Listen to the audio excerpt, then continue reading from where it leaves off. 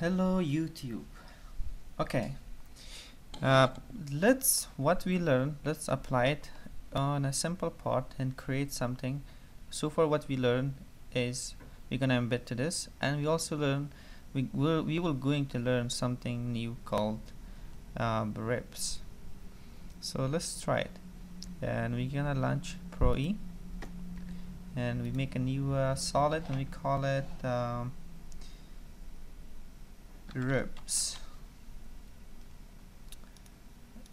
millimeters. Okay. Uh, we're gonna go at revolve and uh, define. We're gonna revolve around here. And uh, just gonna put our center line very quick.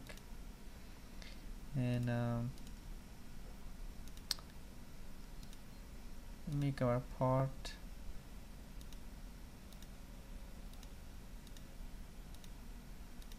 and uh, this happened to be our part.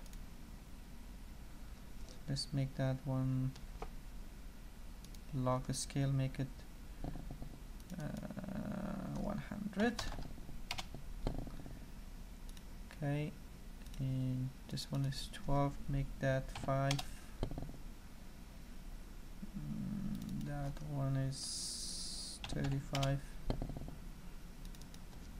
25 and let's bring the height down to 50 and uh, make this one 10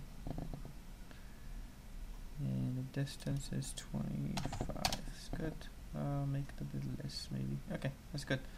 Um, so yeah this is the part. So we're gonna revolve. Good. Okay um, so we're gonna add something extra in here that would be the uh, the ribs. We want to create a pattern kind of type of the ribs here so it can support this uh, piece. So how we do that? Uh, this right hand bar uh, toolbar we go on rib.